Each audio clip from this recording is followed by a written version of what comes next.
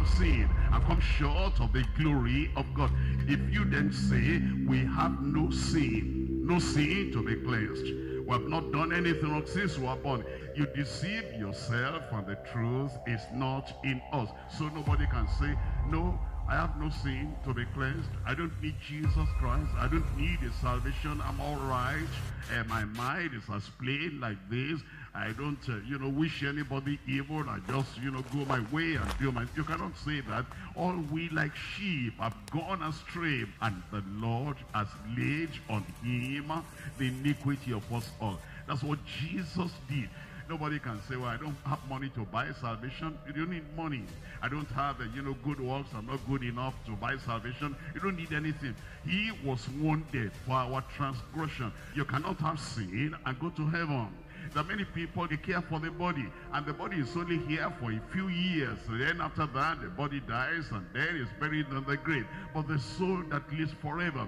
And what shall a man give in exchange for his soul? That's why you should concentrate first of all on the very fact that he was wounded for your transgression and that he was bruised for your iniquities. He bore the punishment of our sin. He bore the shame of our sin. And when you turn away from that sin, you turn to the Lord, you turn to the Savior, he will forgive you. He will change your life. And then he has the ability to cleanse. He cleanses. If you just say, you know, if we say we have no sin, we deceive ourselves, you must connect it with the others. You're saying that so that you can go to God for confession and for repentance.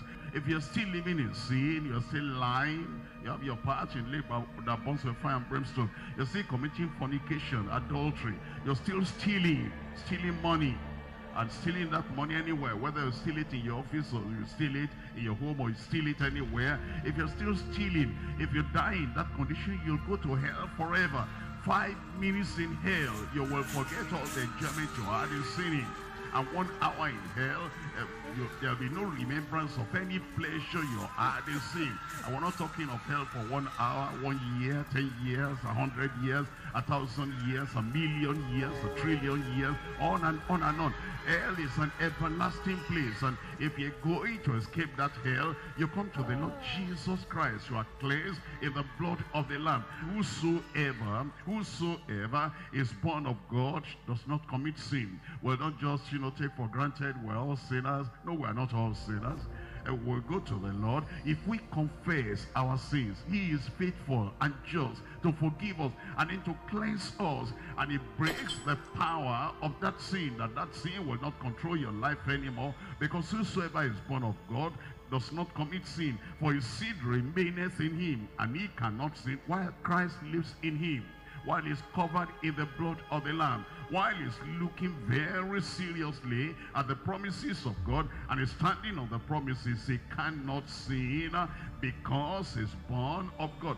Eh, there's no reason to pretend. What, what are we pretending about? When you were born into this world, you didn't know anybody. And when you came to this church, who did you know? You came by yourself. And you are staying here by yourself. Why is it you are forgetting the purpose you came? The purpose you came is to make this way the gate to heaven. So that your life will be clean. And when Christ comes, you'll go with the Lord in Jesus' name.